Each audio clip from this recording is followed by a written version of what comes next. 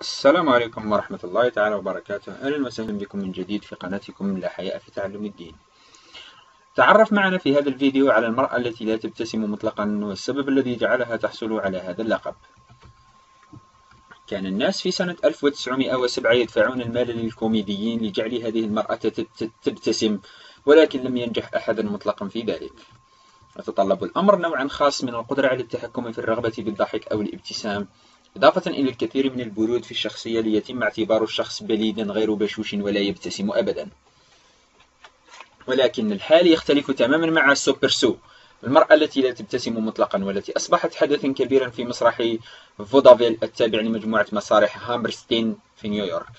كان فودافيل أكثر أشكال الترفيه شعبية في العالم الغربي في الفترة ما بين 1880 و 1930 حيث كان يعرض مسرحيات هزلية قصيرة من أداء فنانين كوميديين وممثلين استعراضيين بأنواع عروض عديدة.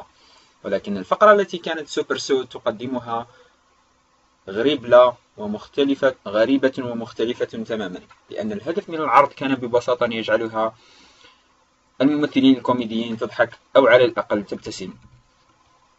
في السنوات التي كانت فيها جزءا من تلك العروض المسرحية حاول العديد من الممثلين الكوميديين المحترفين الذين قدموا قدموا من كل مكان من العالم ليحاولوا جعل السو تبتسم لكن لم ينجح أحد على الإطلاق في فعل ذلك.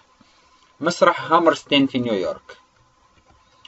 بدأ العرض الخاص بسوبر سو لأول مرة في عام 1907 حيث قدم قدم منتجو المسرح جائزة قدم منتجو المسرح جائزة بقيمة ألف دولار لأي شخص يمكن أن يجعلها تضحك. كان ذلك مبلغا من المال كبيرا جدا للغاية في ذلك الوقت.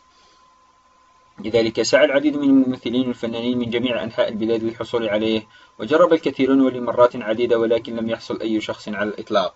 ولم يتمكن أحد منهم في الحصول على أقل وميض لابتسامة في عين أو شفاه سوبر سو وهو أمر وجده الناس الذين كانوا يحضرون العروض مسليا للغاية.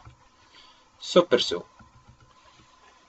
بعد مضي سنوات على عروض سوبر سو ظهرت الحقيقة ومثل الكثير من الأعمال والعروض الترفيهية التي تقام في أيامنا هذه كانت هناك عملية احتيال وراءها حيث أن سوبر سو كانت تعاني من حالة نادرة من الشلل الموضعي في وجهها مما يعني أنها كانت غير قادرة على التحكم في عضلات وجهها وبالتالي لم تكن قادرة على الضحك والابتسام حتى لو أرادت ذلك. وهذا يعني أيضا أنها كانت على الأرجح مسرورة للغاية بتلك العروض المضحكة لكن تعابير وجهها لم تتساير مع إحساسها الحقيقي. كان المنتجون يدفعون 20 دولار في الأسبوع كأجر لسوبرسو هو مبلغ أسبوعي جيد في ذلك الوقت.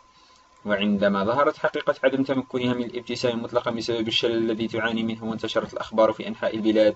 استنكر الكوميديون والممثلون الاستعراضيون الذين حاولوا مرارا وتكرارا جعل المرأة تبتسم دون جدوى. الأمر. ونبذوا منتجي العرض الذين قاموا بخداعهم لسنوات عديدة. هامرستاين في نيويورك إلى هنا أحبائي نكون قد وصلنا لنهاية هذا الفيديو. في أمان الله.